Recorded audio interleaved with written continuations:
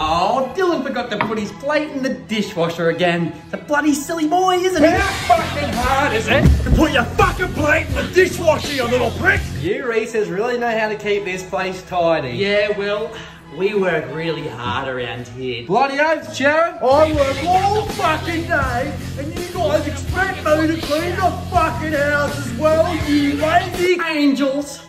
These are my little angels! Oh, they're so cute. This house wouldn't be the same without them. When was the fucking last time you anything around here? Huh? Selfish, ungrateful.